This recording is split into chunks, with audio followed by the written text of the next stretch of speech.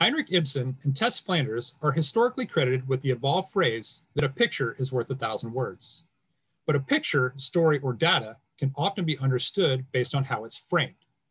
Leaders, when presented with data or offered an idea that requires a decision, must not only consider the words, but also frame the problem in which the idea portrait is delivered, ultimately interpreting how your organization's narrative may be written.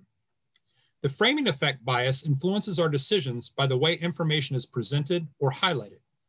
Due to cognitive limitations, equivalent information can mistakenly become preferable if it shows a positive self gain, if it's the easier of two concepts to be understood, or if it's presented first and appears to be good enough, known as satisficing. As a leader, when presented with a menu of data or someone's best solution to a problem, focus on the picture to visualize the rest of the narrative.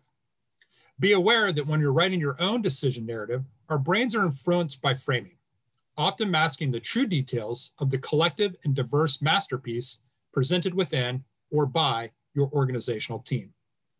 Lead well this week.